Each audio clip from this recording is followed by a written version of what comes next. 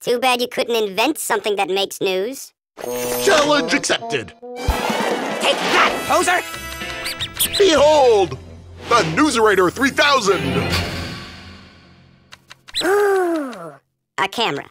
Mm, really? A camera?